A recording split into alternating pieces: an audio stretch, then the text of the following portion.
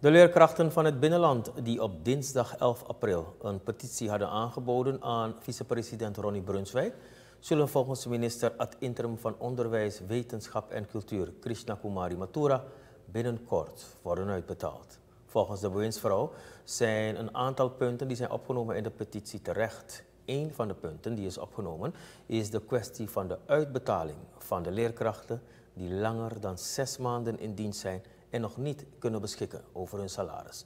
Matura bevestigde vandaag voor aanvang van de ministerraad dat dit vraagstuk opgelost zal worden.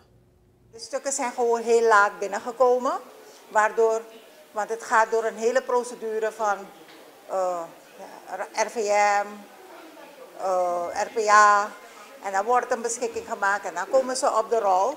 Dus dat is de procedure, maar ik heb nu, en de stukken zijn echt laat binnengekomen, waardoor ze hun geld niet hebben ontvangen.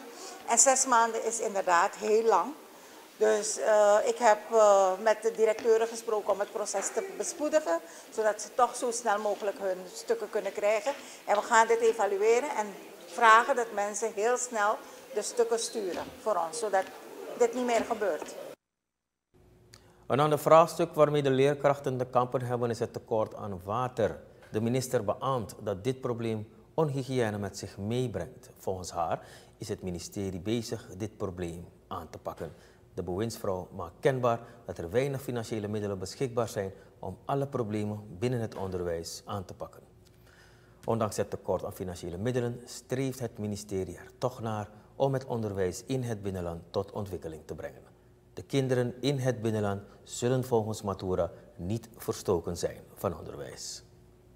We doen eigenlijk binnen de mogelijkheden die we hebben echt onze best om onderwijs, uh, hoe zeg je het, uh, te continueren, in stand te houden, zodat de kinderen niet verstoken worden van onderwijs. Maar het is geen makkelijke opgave. Daarbovenop hebben we echt tegenvallers gehad, overstromingen, scholen die vernietigd zijn, boeken die vernietigd zijn. Dus ja, dat is allemaal um, tegenvallers. Um, ik heb vorige week bijvoorbeeld, nee deze week gesproken met de leiding. We, gaan, we zijn bezig in een aanbestedingsproces.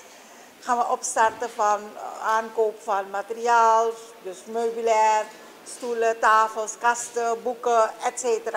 Dus dat wordt voorbereid. En hopelijk hebben we binnen een paar maanden wat meer materiaal en wat meer ruimte.